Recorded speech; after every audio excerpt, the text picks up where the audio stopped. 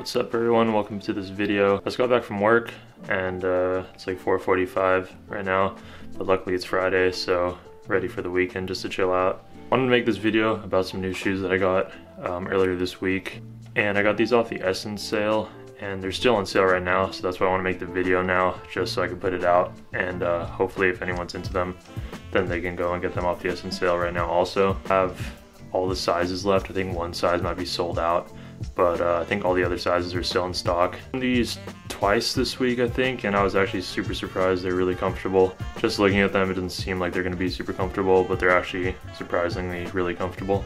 Just gonna show the shoes real quick, um, go over just like a little review, and then I'm gonna do some like styling stuff. And these are called the Diemme Black Cornaro Oxfords.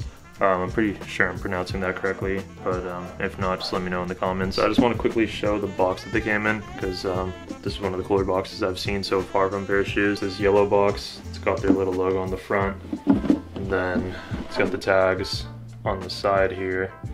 Um, I'm a US size 12, so I always order like an EU 45. Shoes came with standard paper and uh, like a little travel bag that's just white and then it has the logo printed on there really faint.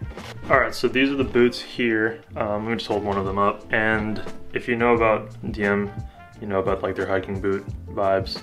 And uh, I like those, but I didn't really want like a full-on boot. And I've been looking for like Oxfords and Derbies for a little bit. And then I saw these on the SSENSE sale. These just caught my eye because they're low top. So these are super sweet.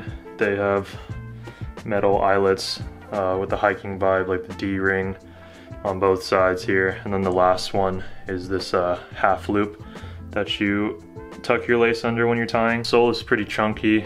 Um, it's got the sweet bottom, if you could see that there. And then the toe is kind of wrapped in this rubber material at the front. And then other than that, the whole upper is just a black suede. The inside lining is uh, leather. Yeah, they um, basically just look like the hiking boots that they do, except these are low tops.